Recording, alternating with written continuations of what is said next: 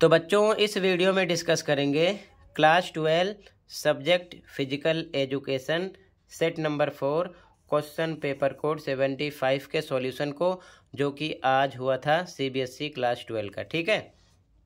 तो देख लो सॉल्यूशन, कि आपने कितना राइट किया था, कितना रॉन्ग, ठीक है? Question number one. निम्नलिखित में से कौन सा प्राणायाम मोटापे को कम करने के लिए सहायक है? तो सूर्य भेदन प्राणायाम। ठीक है? सी ऑप्शन राइट है। अगला, अंतर्राष्ट्रीय पैरालंपिक समिति का गठन डैश में किया गया था।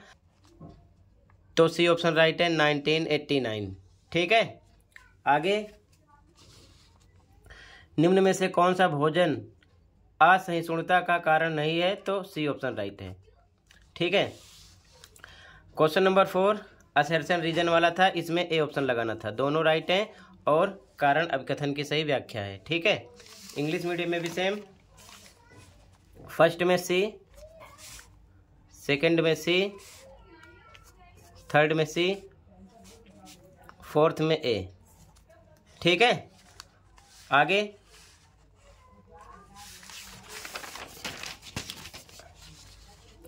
क्वेश्चन फिफ्थ, देखते चलो आंसर अब, डायरेक्ट। सी ऑप्शन राइट है। Question six, A. ए लगाना था। ठीक है? अभिकथन कारण दोनों सही है, कारण अभिकथन की सही व्याख्या है।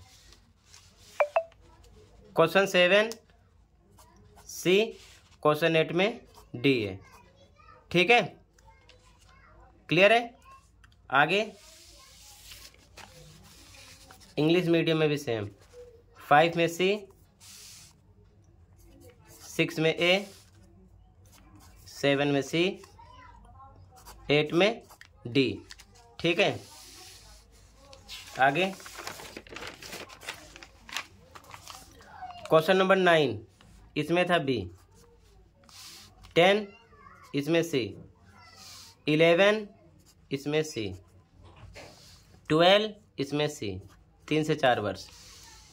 थर्टीन डी सलभासन दृष्टिबाधित छात्रों के लिए इसमें बी था। सवासन अगला, क्वेश्चन नंबर फोर्टीन, इसमें डी। ठीक है? इंग्लिश मीडियम में भी सेम। नाइन में बी, टेन में सी, इलेवन में सी, ट्वेल्व में सी थर्टीन में डी और बी है इसमें। ठीक है? फोर्टीन में डी। आगे।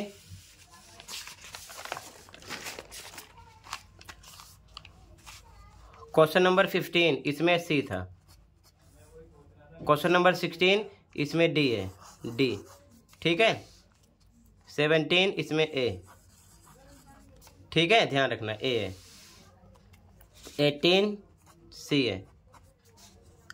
दृष्टिबाधित छात्रों के लिए भी है इसमें। ठीक है? इंग्लिश मीडियम में सेम, फिफ्टीन में सी, सिक्सटीन में डी, सेवनटीन में ए, एटीन में सी और इसमें B. Total MCQ question complete कर दिया। ठीक है? मिलते हैं अगली वीडियो में. Thank you for watching